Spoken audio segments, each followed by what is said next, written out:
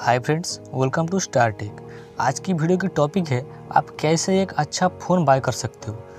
तो वीडियो शुरू करने से पहले आपसे एक रिक्वेस्ट है, वीडियो अच्छी लगी तो वीडियो को लाइक कीजिए और हमारे चैनल को सब्सक्राइब करिए क्योंकि हम ऐसे ही बहुत सारे वीडियोस आप लोगों के लिए लेके आएँगे। तो बिना टाइम वेस्ट किए वीडियो को शुरू करते हैं।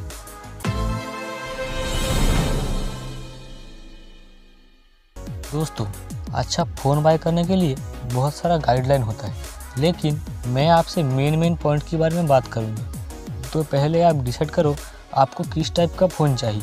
यानी अच्छा कैमरा चाहिए या फिर गेम्स खेलने के लिए चाहिए या फिर अच्छी बैटरी चाहिए। तो आप पहले डिसाइड करो आपको किस टाइप का फ़ोन चाहिए। तो हम इसी मेन मेन पॉइंट के बारे में बात करने वाले हैं। एक नंबर पे आता है डिस्प्ले।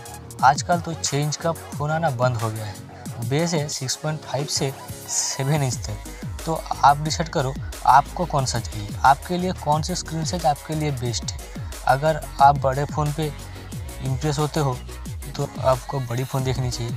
अगर आप डिस्प्ले साइज़ इतनी बड़ी नहीं चाहते हो, छोटी डिस्प्ले पसंद करते हो तो आप देख सकते हो छोटे फ़ोन की तरफ़ लेकिन ब्रांड आप स्मॉल डिस्प्ले साइज़ के फ़ोन लाना बंद कर दिया है। और वो लोग ध्यान दे रहे हैं बड़ी स्क्रीन साइज़ के ऊपर, क्योंकि उसकी डिमांड ज़्यादा है। तो जो भी लोगों को छोटे स्क्रीन साइज़ पसंद है, आप लोग मार्केट में कई सारे फ़ोन तो अवेलेबल है, लेकिन आपको छोटे स्क्रीन साइज़ ढूंढना पड़ेगा। नंबर टू है प्रोसेसर अगर आप गेम्स ज़्यादा खेलते हो, अगर आप बी या फिर फ्री फायर या फिर पबजी एपेक्स लेजेंड इससे रिलेटेड बहुत सारी हाई डिफिनेशन गेम है, जो बहुत सारे लोग खेलते हैं। अगर आप भी खेलते हो तो आपको फ़ोन लेने से पहले देखना चाहिए उस फ़ोन में कौन सा प्रोसेसर है। गेम्स खेलने के लिए फ़ोन अलग होते हैं। ऐसा नहीं कि फ़ोन लेना है तो ले लिया, कोई भी फ़ोन, ले लिया, फ़ोन तो फ़ोन होता है। भाई साहब, नहीं, गेम्स खेलने के लिए फ़ोन अलग होता है। वरना तो एक लाख और दस हज़ार के फ़ोन में डिफरेंस नहीं होता। तो फ़ोन लेने से पहले अगर आप एक गेमिंग फ़ोन ढूंढ रहे हो तो उसमें प्रोसेसर कौन सा है, उस पर ध्यान दीजिए। यह है बैटरी। आप पहले ये माइंड में रखो कि आपके पास जो फ़ोन है, उस फ़ोन में बैटरी कितनी एमएच की है और वो बैकअप कितनी देर तक देता है। अगर आप नॉर्मल यूज़र हो तो ठीक है, चार हज़ार एम की बैटरी आपके लिए काफ़ी है। लेकिन अगर आप हेवी यूज़र हो, आप फ़ोन पे गेम खेलते हो, अगर आप उसको यूज़ ज़्यादा करते हो तो उस फ़ोन में कम से कम पाँच हज़ार एम की बैटरी ज़रूर होनी चाहिए। तो दोस्तों, नंबर फोर है कैमरा। अगर आप ज़्यादा फ़ोटोज़ क्लिक करते हो, अगर आपको ज़्यादा फ़ोटोज़ क्लिक करना बहुत ज़्यादा पसंद है तो ये पार्ट पे ध्यान देना। अब बहुत सारे कंपनी क्लेम करता है, इस फ़ोन में 64 मेगापिक्सल कैमरा है, इस फ़ोन में 108 मेगापिक्सल कैमरा है। तो मैं आपसे कहूँगा, आप नंबरिंग पे मत जाओ, उसकी एपर्चर देखो और ऑप्टिमाइज कैसा है वो देखो, जो एप्पल और गूगल करता है। आप उस फ़ोन में भले ही दो मेगापिक्सल या फिर आठ, पाँच मेगापिक्सल की कैमरा दो, लेकिन अब उसमें ऑप्टिमाइज अच्छे से करो, ताकि लोगों को पसंद आए। नंबरिंग पे मत जाओ। एपर्चर देखो और वो ऑप्टिमाइज कैसा है, वो देखो।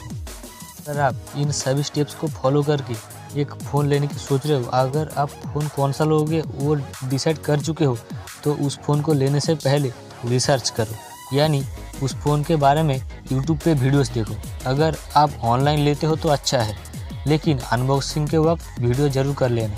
अगर आप ऑफलाइन लेते हो मतलब किसी भी दुकान में लेने के लिए जाते हो तो एक फ़ोन के बारे में बोल रहे हो और दुकानदार आपको अलग फ़ोन दिखा रहा है। तो आपको तो दुकानदार को बोलना है कि मुझे सिर्फ़ और सिर्फ़ यही फ़ोन चाहिए। अगर उस दुकान पे नहीं है तो आप दूसरे दुकान पे जाइए। अगर वहाँ पे भी नहीं है तो आप दो से तीन दिन या फिर एक हफ़्ते तक वेट कर लीजिए, क्योंकि आप उस फ़ोन को एक से दो साल तक यूज़ करने वाले हो। तो सोच समझ कर फ़ोन लीजिए, दुकानदार की बातों में मत आइए।